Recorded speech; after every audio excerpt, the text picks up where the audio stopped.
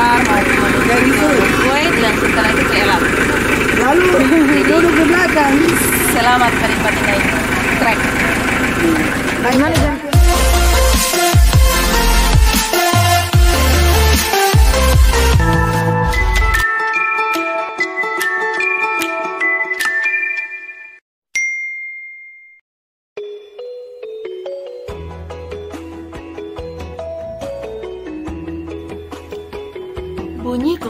ayam telah membangunkan kami dari pembaringan. Masing-masing kami pun menyiapkan diri, mulai dari mandi hingga keperluan pribadi lainnya. Setelah itu, kami semua berkumpul di ruang doa sederhana dan melakukan ibadat pagi bersama dengan anak-anak.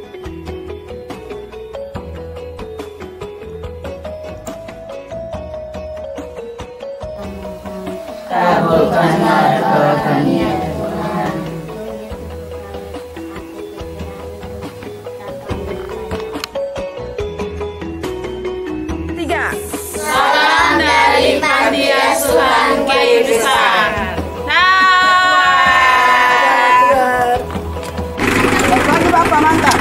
Jadi hari ini kita akan ke lokasi rumah lama dan kita akan mengendarai pick up. Jadi cewek-cewek trek guys. ini Bapak sudah datang. Bapak siapa? Bapak Yan. Bapak Yan sudah datang.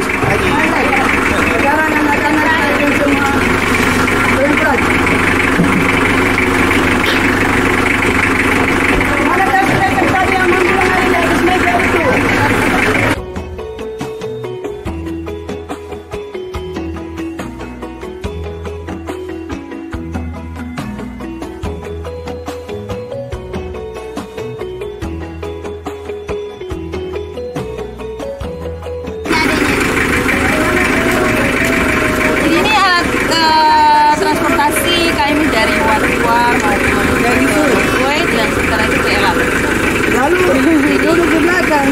Selamat menikmati naik trek. Gimana ada? Cara naiknya kayak gini, cara naiknya kayak gini. Gampang.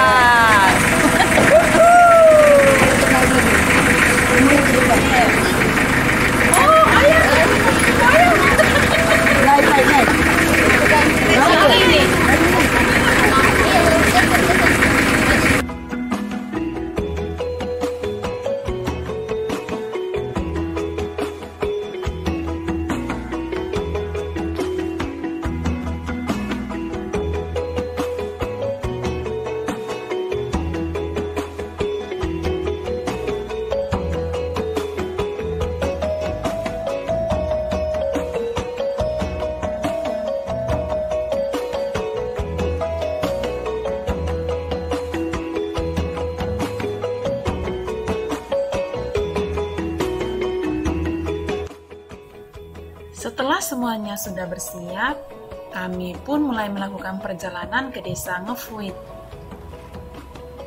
Hamparan bukit hijau, pemandangan keseharian masyarakat lokal, lautan biru yang luas, juga jalan bebatuan menemani perjalanan kami pagi itu.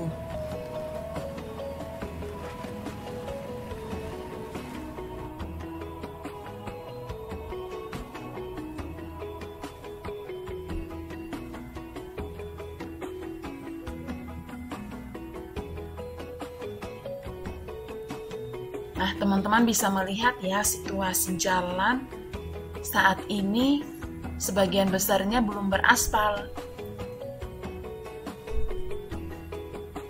Meskipun begitu, para suster dan anak-anak semuanya menikmati perjalanan dengan gembira.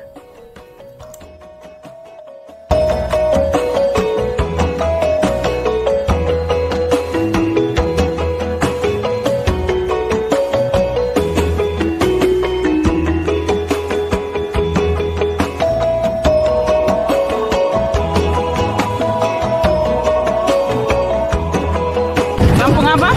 Udar. Udar. Udar. Yang speak tenggelam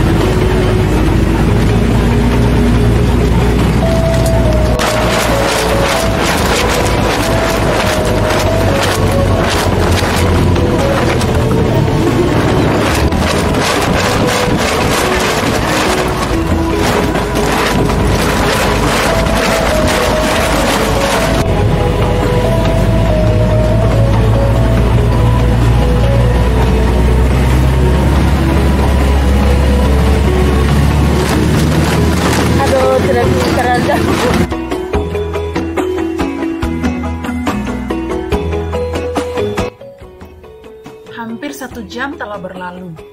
Tibalah kami di lokasi rumah lama di desa Ngefuit.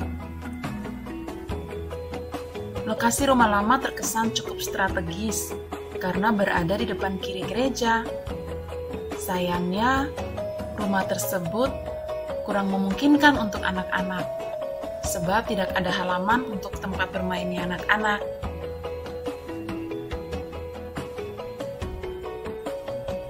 Betapa bahagianya kami ketika kehadiran kami disambut baik oleh warga sekitar.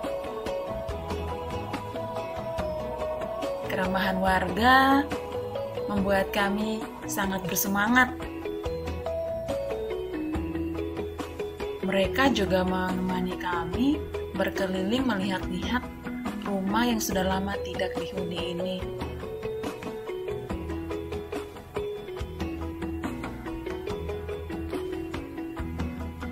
Semoga ke depannya rumah ini dapat digunakan dengan baik ya.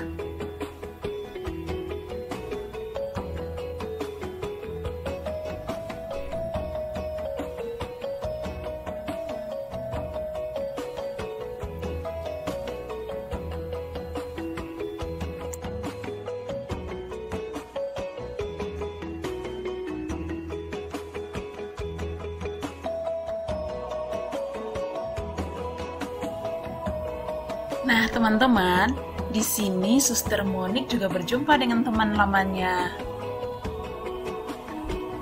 Mereka saling bercengkrama dan mulai bernostalgia.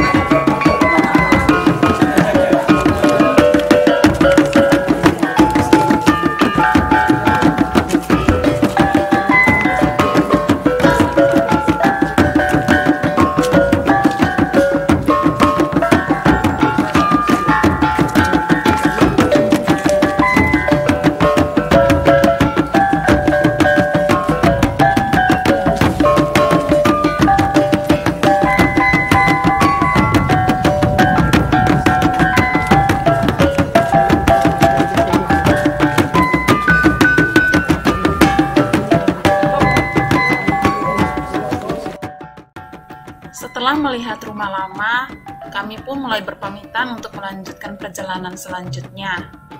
Dan seperti biasa, kami mengabadikan momen-momen kebersamaan kami.